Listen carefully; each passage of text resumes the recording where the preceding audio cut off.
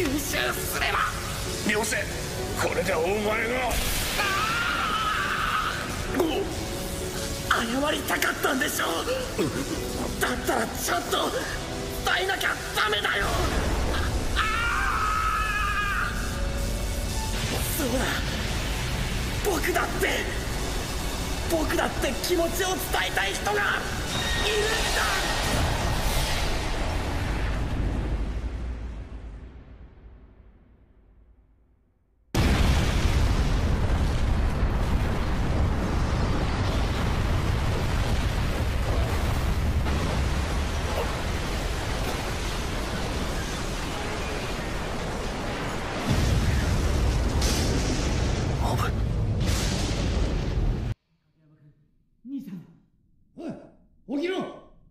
影山君モブ。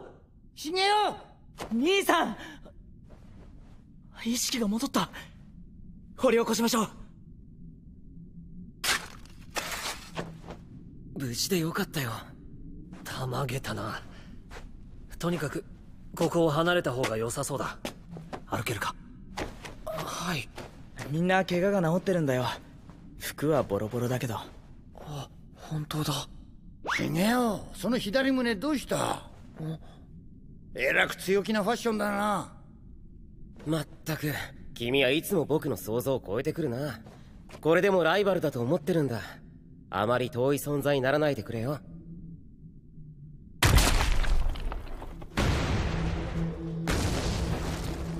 この地面コンクリートじゃない。頭がぼーっとする。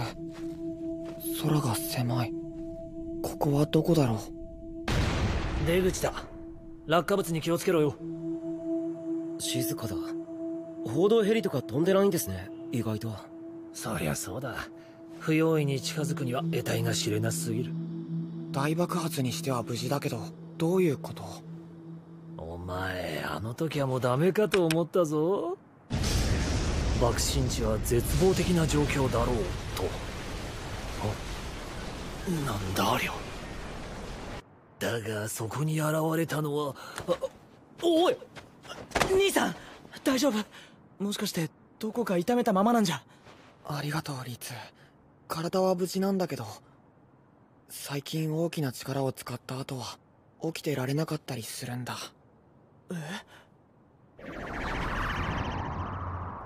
途中まで僕が運ぶから寝てていいよでも運ぶって言っても家は。悪い。全焼した家の修復はこいつがするから3日ほど待っててくれ。3日って。お前ら俺んち来るか？ちょっと狭いけどなんとかなるだろう。露骨に嫌そうな顔すんなよ。政府は一連の事件を空想に取りつかれた犯罪集団による犯行と断定かまさか民間のエスパーに敗れて出頭とはな。事実だ。やれやれ。プロの立場がないな。親父はどうなる？うーん。普通に考えれば極刑は免れないだろうが。生かされて研究機関のモルモットという可能性もあるだろ子供の前でそんなことを言わなくったって。うまあ決めるのは俺じゃないしどうなるかわからないな社社社長芹沢私はお前たちを心から仲間だとは思っていなかったんだ気に病む必要はないお前は自分に自信がない分他人につけ込まれやすい今後は気をつけるんだな翔お前にはもう一度母親に会わせてやりたかったが私の傲慢がつながりを引き裂いてしまった本当にすまなかったいやたまに会ってるよ母ちゃんなら。いつも親父の近況なんか聞きたがってさ。できれば母ちゃんに親父の今を知られる前に止めたかったけど。今朝電話したら今度会いに行くってさ。だから一人で勝手に終わった気になるなよ。まだ母ちゃんに怒られる役目が残ってんだからさ。